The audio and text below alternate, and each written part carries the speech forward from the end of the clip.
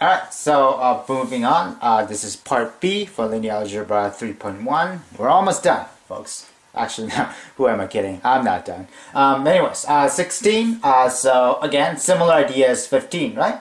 Uh, in order to be parallel, you know, you have to have a scalar uh, b that acts as a multiple for the original vector and the new vector, right? See, well, not original and new vector, two vectors to be parallel. So anyways, so in order for these to be parallel, um, yeah, in order for this to be parallel, you need, uh, you could say t equals 1 half, so that would be 4 and negative 2, uh, 4 and negative 2.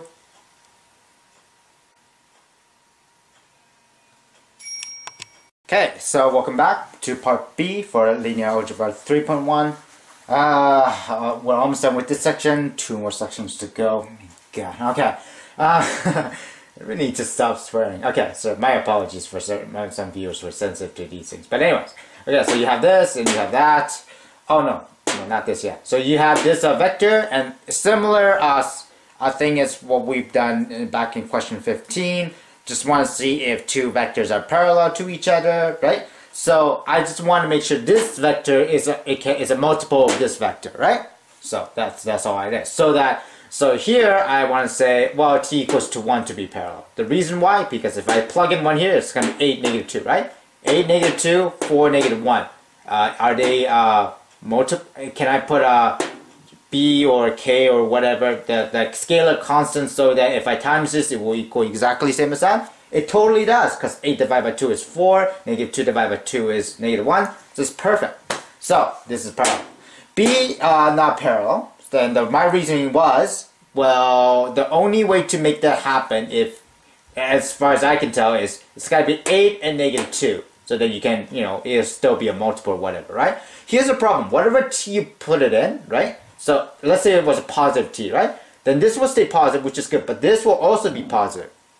I gotta have positive negative, right? It's gotta be a multiple, uh, multiple product of the original u vector, right? So I can't think of any t value where it would give the first uh, first entry positive and the second entry negative. Can't be done. Don't think so. Uh, I don't think so. That's why I say it's not parallel. C also not parallel for a different reason. So it's one, fine. Maybe I could, you know, I maybe I could make this four, and this will be negative one over four right? That way would be, you can just times it by 4 to get there. Uh, but not possible though, because it's t squared, and that's negative, right? Anything squared cannot be a negative number, as far as I can I know. So because of that, it's not parallel. So pretty simple stuff. Just you know, walk through it. Uh, walk through it if uh, if you well, you know, just want to be confident. But again, not a new idea. 18. This is where it gets a little bit fun. Um, 17 should be on the solution manual, so I trust that you can look it on your own. But uh, so I thought I'll just purposely do 18 instead. Uh, that actually turned out to be a very blessing in disguise, and I'll tell you why. So you have these two vectors, and basically they're saying is, well, if I have a scalar constant of a and b, so how do I make sure this times a and this times b gives me this new vector? So, you know, this is where the column vector comes handy. So remember, we always used uh, the other, other uh, format. I forgot what it was called, but um, actually that is unacceptable. I should know what it is by now. Okay, going back, going back, going quickly back. Um, oh yes, comma delimited form. Yeah, so these are comma delimited form. Need to memorize that. Anyways, uh, but so we can actually, this is a good opportunity for us to use the column vector because it makes more sense. I'll tell you why. So AU, right? Equals that, so we already know that. So that same thing is A, and I just put U in a vector format, right? It's a column vector, that's the term, right? Doesn't this looks a little familiar? Matrices. So let's put that into augmented matrix for format. So you have these, right? So 2A plus negative 2B, so, and then just follow through. A plus 3B. Here's an interesting thing though, right? You see, notice these zeros here? Because of that, we have b equals to 3 and a equals negative 1. We don't even have to do elimination. This is beautiful. Anyways, so we have, sorry, I got a little excited, but a equals to negative 1 and b equals 3. Uh, so that's all we need to write. Uh, I don't know, 17 will be that simple. I'd imagine uh, for 17, uh, once you come up with, uh, once you put it in the augmented matrix format. But again, it should be rocket science anyway though, right? Once you put it in this form, then all you have to do is just go through appropriate elimination and then just find the, you know, unknown solutions. So we've been doing this since section 2, so we should be solid. Oh no, section, not even section 2, section like 1.2 or something like that. So this should be solid, right? So Anyways, that is that. We're going to move on to more interesting ones. Question 19. Okay, so this is question 20. Um, yeah, so uh, 19 should be a solution menu, so I thought it would be a nice refreshing change to uh, do this question instead. So, um, one sec. Okay, so there's the question.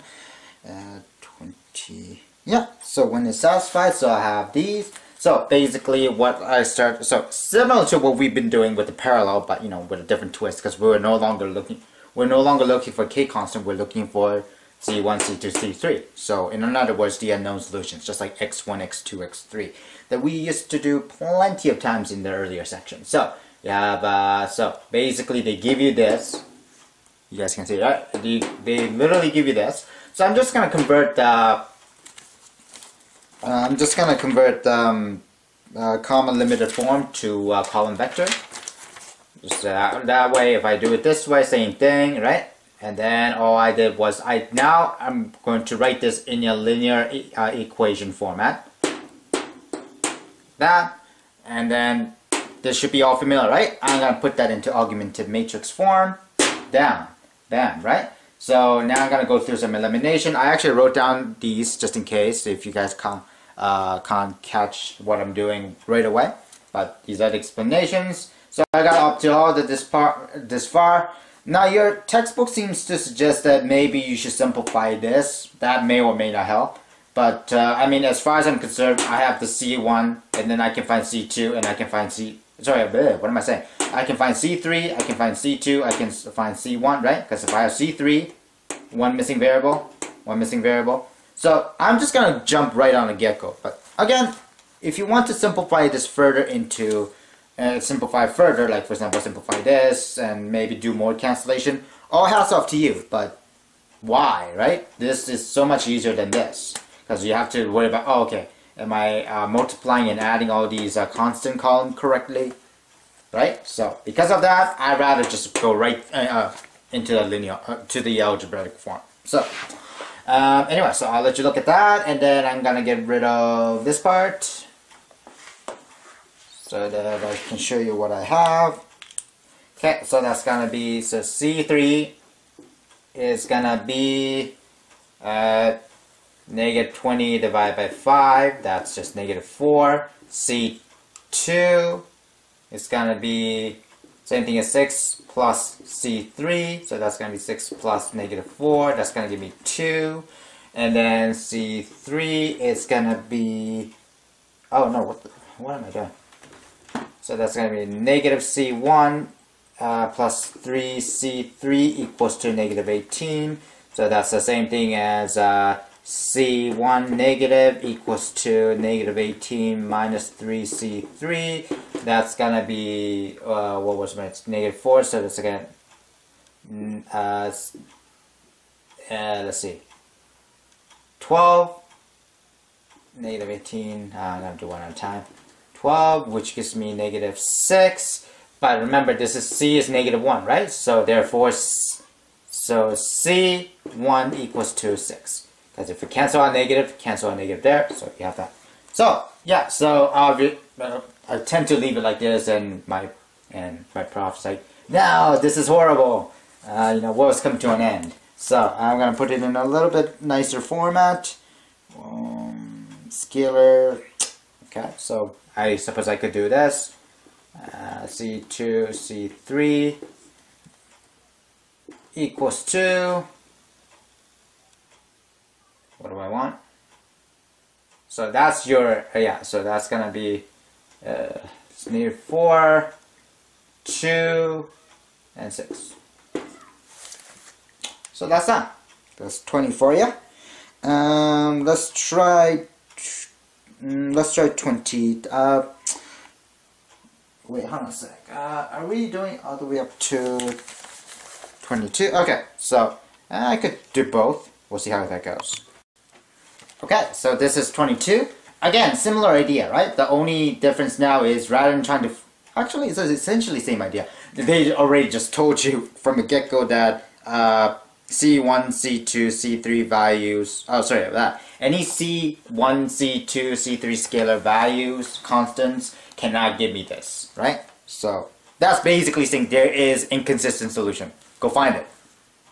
And yeah, it turned out to be pretty easy actually. Uh, once I once I wasn't uh, apparent, uh, obvious at first when I saw, first uh, had this format, but once I put it into a column vector, I was like, wait a minute, zero, zero, zero, negative two, done, right? I still wrote it out because you know I have to show the work. I wish I could just stop. It's like done, right? But uh, no, can't do that. So I have that, uh, put it into linear linear uh, equ equation format, and then convert it into augmented matrix format. So this second row inconsistent, no solution, done. So 21, I'm not, I don't know if it's going to be exactly simple, but it's the same idea. So basically you'll go through the same thing, right? Put it into column vectors in this format, and then put it into linear equation, put it into augmented matrix, uh, and then do the elimination until you see uh, one row uh, that happens to be, uh, you know, ha happens to have an inconsistent solution, like this one, then then just ID and says, there, this is why C1, C2, C3 cannot exist uh, if these two were equal. Or, no, actually, that's a poorly worded phrase. I could say these two cannot equal regardless of what C1, C2, C3 values should have. So, next part is actually a little bit more interesting. 29. 100... Mm, no, okay, I don't want... I think if there's a good bet, this is it's gonna be on a test, but to be TBC. Okay, so uh, 29. I would totally put this question if I was a teacher, just because I like these kind of questions, but you know, but whatever. Um, this uh, Star Wars looking uh, symbol, or was that the Confederacy, or whatever? Yeah. The only reason why I know that because I used to be a huge fan of CIS. Um, uh, uh, not a huge fan of story or Jedi's and all just like stuff, but the potential of having a fully mechanized robot as a, uh, as a military armament. I mean, you know, the Nazi Germans would have, would have like loved to have had that, but Anywho, but uh, that's another story. Um, yeah. Ugh. Uh, everyone's talking about the movie, and I'm even using those references now. This is not good. I swore to not watch those ever again. But anywho, so you have that. So all we, so basically, you know, we're trying to figure out what is the sum of all. Uh, uh, uh, there. What am I? Sum of all years reference. What what were they doing? Sum of all vectors, right? So basically, uh, if you just use common sense, right? I mean, you can see that A is going to be same as D F is same as C, and E is same as B, so they will cancel out. Remember in chemistry, if you ever uh, taken it, uh, how to calculate the dipole-dipole moment, and if you had uh, a tetrahedral shape or any like, or, or there's stuff like that, you look at uh, if the electronegativity difference is the same, and if they're opposite of each other, they cancel out. So even though if it's like CH4, for example, it would have a net overall net polarity of zero.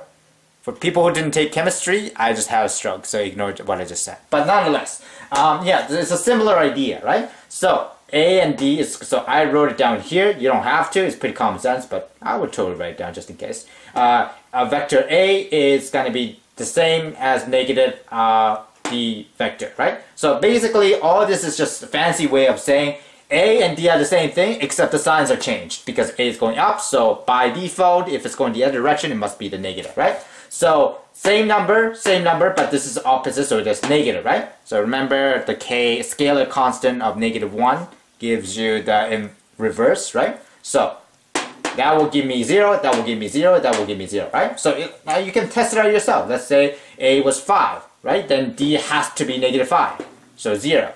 Same thing, whatever, right? So your net vector will be 0. Oh, no, no, no, no. 0 vector, yeah. Yeah, can't uh, subtract vectors to have a number. This will become critically important in the next section. But anyways, so that's that. B net. Uh, so what happens if uh, all the vectors were halved?